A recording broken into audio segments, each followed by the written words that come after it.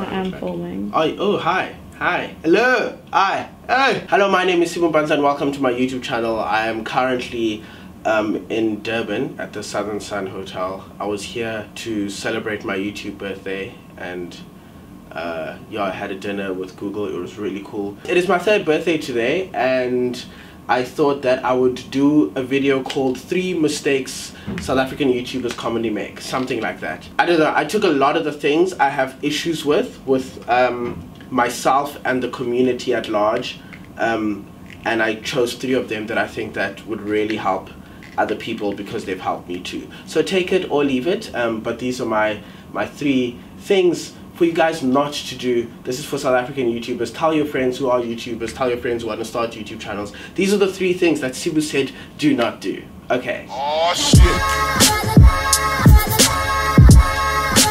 Live my life with So number one, this is probably the most obvious one I need you guys to remember is do not go into it for the money. Um, most of these tips do sort of mesh together, so if you feel like they they're all the same thing, then it probably is. Don't do it for the money. It's a long-term game, especially if you're in South Africa. If you're starting a YouTube channel, especially a lifestyle channel like mine, where you speak to the camera, you do not want to start it assuming you are going to earn enough money um, for you to survive by yourself, right? There is possibilities to earn money. It took me three years basically to be comfortable. So to earn enough money to um, be able to, you know, pay my own rent, groceries, transport and things like that. And even then, every now and then I really struggle. There are like dry months where I don't get any work um, from social media. So do not go into it for the money. It is a long-term game. Don't rush when you start your YouTube channel, it is going to be slow. We are in South Africa. We're not in the UK. We're not in America. We're not in a place where um, YouTube is something that is just watched by everybody and people understand YouTube content creators. So do not be in a rush. If you've had 200 subscribers for the past two months, it's okay. Just keep on pushing. Do not be in a rush. Don't be in a rush to get a million subscribers. It's not going to happen overnight.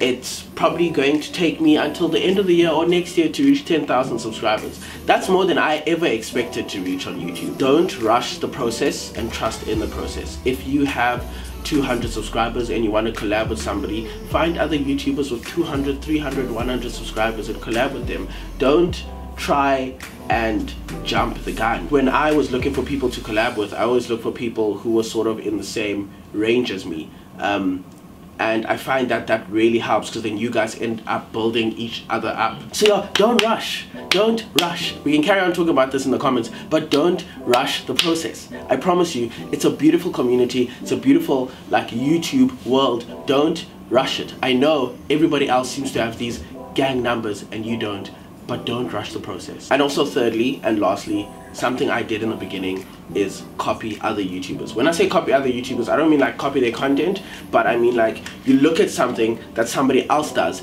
and it looks like something that brings success, right? For me, that was comedy. I always assumed that I had to be the funny guy um, in order to get a lot of views, get a lot of subscribers, and that just wasn't me. And you can see it in my content. Is, is if you find it funny, that's good. But in the beginning, I actively try to be funny, which is not it's not me. And then when I started doing current affairs and you know speaking about social issues and lifestyle things, that's when I started really enjoying my channel and that's when my channel started growing. So don't look at other YouTube channels you like and think that you have to emulate that in order to be successful. Find what you enjoy talking about and talk about that.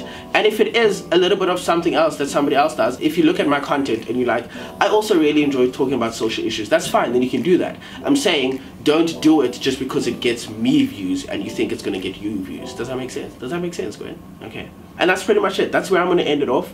Um, I, I, I, hope that didn't come off as malicious. I really want to help the YouTube community because with a lot of these things, I had to figure them out myself and it took me a while to figure them out. And I hope that this helps for people who want to start YouTube channels or for people who've already started YouTube channels. And lastly, I just want to say thank you. Um, three years is a very, very short and very long time to have been doing this thing. And yeah, I've been doing this for three years and I'm going to do it for another three years and another three years after that. And I just want to say thank you. Um, without you guys, I wouldn't be able to do anything that I'm doing right now. I'm extremely happy with my life, as difficult as it can be to be in this industry. I would not change it for anything else. Shout out to Gwen behind the camera. Gwen's amazing. She's the one who makes all this happen. I'm just a pretty face. Please, please, please subscribe. We're trying to get to 7,000 subscribers. If you want to watch my last video, click up there. If you want to subscribe, click down there. I love you very much, Lee, and I will see you in another one. Peace. I did it when they said I couldn't. Got it when they said I wouldn't. Why would they say that I shouldn't? Look at the work that I put in. I did it when they said I couldn't. Got it when they said I wouldn't.